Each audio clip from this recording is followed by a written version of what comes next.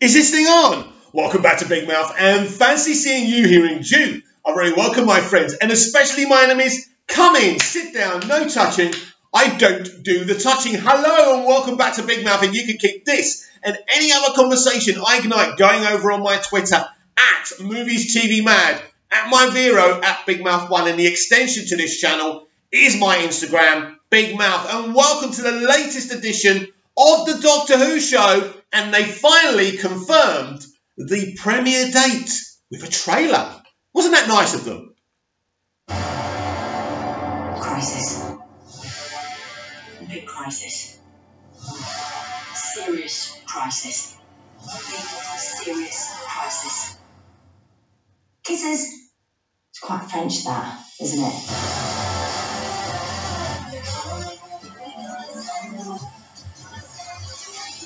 Who are you, Doc? You don't know me.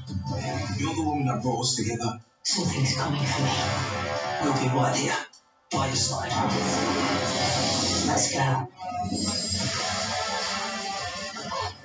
Welcome to the end of your lives. People can save planets or. I will take everything. Be the best of humanity. Consider as you hope restored. Fancy a trip in the box?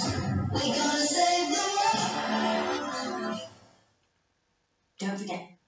Don't forget, Doctor Who is back in the new year. Yes, it's officially confirmed that the first episode um, will air on BBC One on Sunday, the 1st of January 2020. And to the rest of that, us, it's New Year's Day. So obviously we know no Christmas episode. Chibnall has convinced the BBC that Christmas episodes offend people who are not Christian. So they've obviously fallen for this, so we can't have any Christmas episodes. I know a lot of non-Christian people who don't celebrate Christmas, who love the Christmas specials, but unfortunately, this is the atmosphere and the environment that we find ourselves in. It's sad, but then again, after his festive offering last year, did we really want to sit through another hour and a bit of a Chibnall special anyway? Probably not. But maybe it would have been better because we know in season 12 the BBC wasn't taking any more of his nonsense. So the title of this New Year's Day launch episode is called Spyfall. I think that's what it's called. It maybe I've got it wrong, but I think it's kind of playing with Skyfall from Bond, and that's cool. That's a cool little title. So we also know from Chris Chibnall and the BBC that there's going to be plenty of multi-episode stories in season 12 of Doctor Who. I like that. I like two-part stories. I like continuing stories as long as you give them room to breathe and tell their own story and they're exciting and you have a little bit of a cliffhanger ending, they could be cool. So this is these are the changes that we've seen. The BBC want to make money off of Doctor Who, and if you do Doctor Who properly without triggering people, you, you give it a story.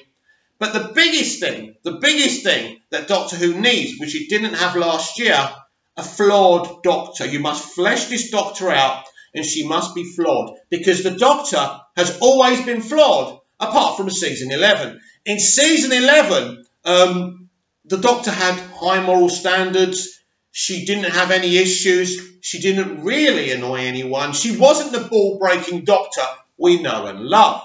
Because Chris Chibnall and people who believe what Chris Chibnall believed, when you're representing women, they shouldn't have any flaws. They should be so called good and proper. And it's really the male characters who should have the flaws and not the female characters.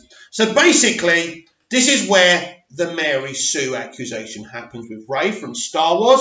I don't know if I necessarily agree with that one, but this is where the accusation comes from because they, they want to represent women, that's right, but they don't want to develop their characters. They don't want to flesh their characters out.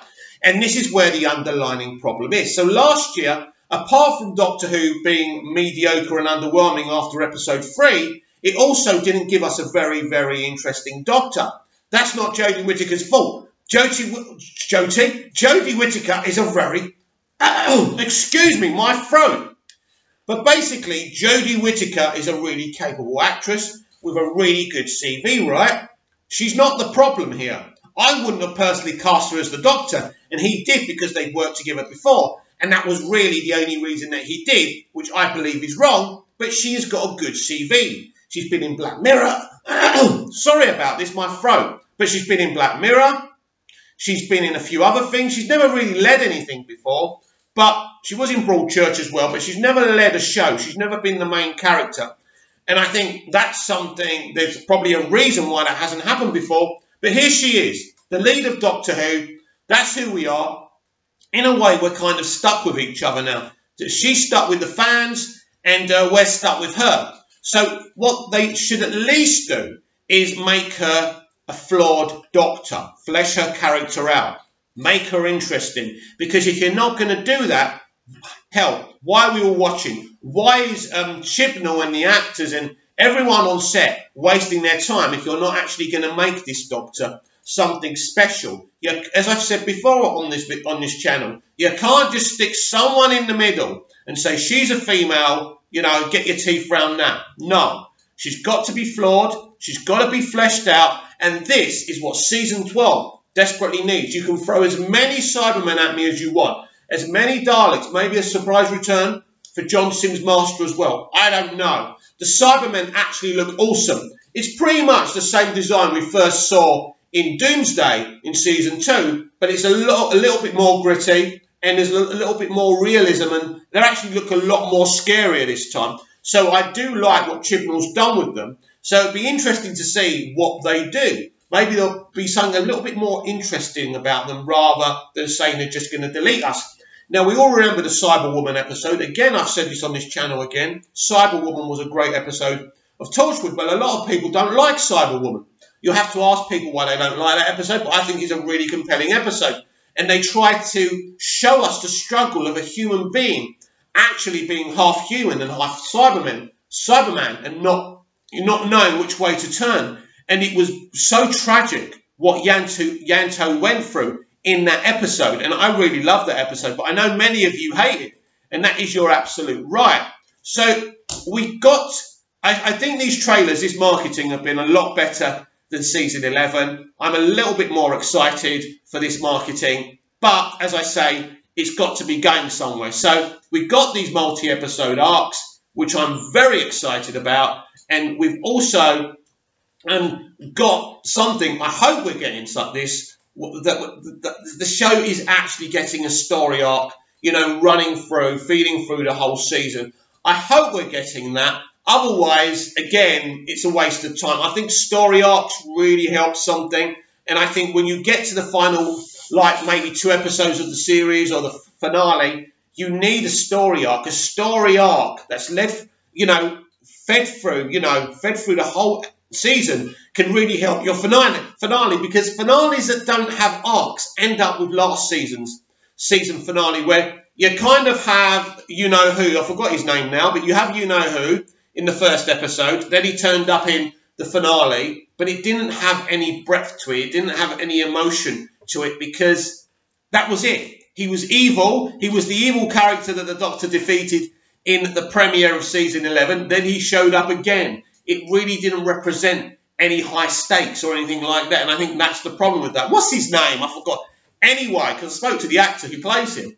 Um, apparently, he probably he is probably coming back. So that'd be interesting to see what they're doing with him.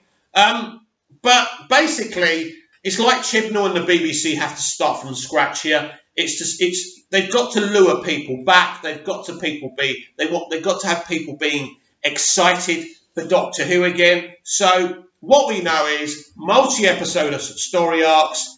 Um, we know that the Cybermen are going to be around, and we know that the first two episodes are called Spyfall. I definitely think they're called Spyfall. This throw is terrible, but I'm going to per persevere for a little while longer.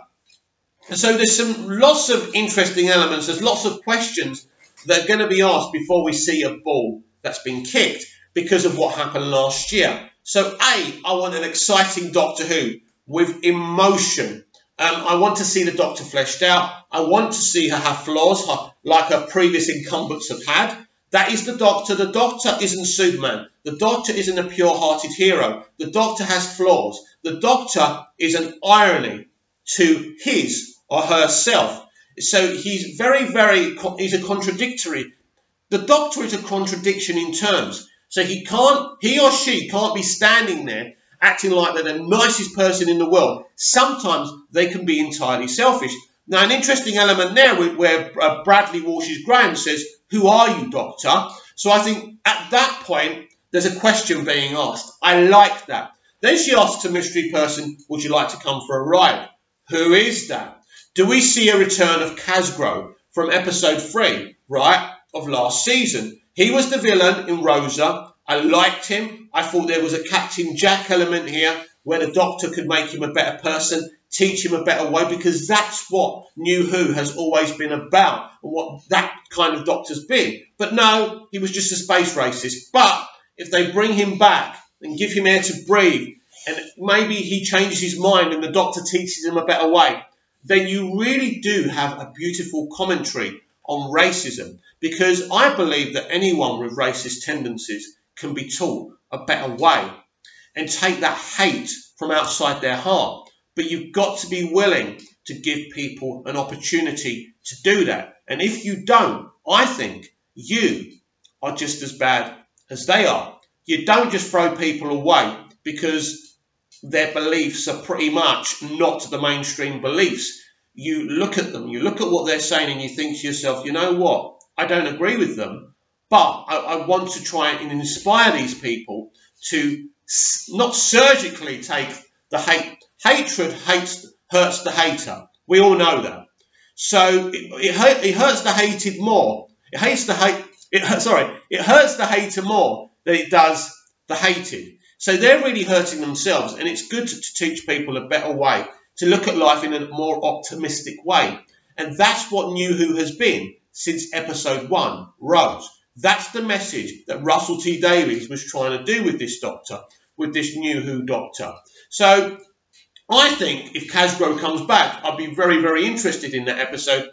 But who knows? Um, I have my doubts about that, but we'll see. I think we'll have a slightly improved uh, Doctor Who season 12. I think people will enjoy it slightly. I hope it's got a lot more depth. One of the problems last year had very, very little depth as well. Nothing really, I don't think really anything intense happened after Rosa, which was a shame. So, as I already said, season 11 had fantastic production values. It looked beautiful, and all that hard work of those people making it look so amazing they deserved something to be going on within our characters, within our, character, the Doctor, and that wasn't happening. And that's what Doctor Who um, fans demand that we have more breadth, more depth, more intensity, and a fleshed out Doctor and a flawed Doctor. So I'm looking forward to the 1st of January. I hope you are as well. Uh, comment down below. If you like the video, smash the like button and I will talk to you more about Doctor Who. And if there's any breaking Doctor Who news, I'll be right back here. And I still feel I would love Jodie Whittaker to, to have a Five Doctors arc, bringing back Eccleston, Tennant, um, Smith, Capaldi. I would really, really, really enjoy it. Actually, how many Doctors has there been? Sorry, I can't count.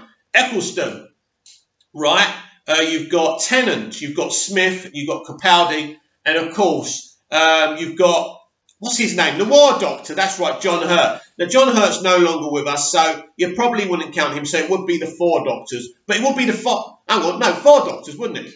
I really can't count. Anyway, I'd love to see a four Doctor arc for the modern era. I think this generation and I think past generations would really, really enjoy it. But again, like what I said on today's Star Wars show, don't let people um, convince you to boycott it. Give it a go. See what you think. And of course, if you don't like it, you don't have to watch it, do you? See you again soon.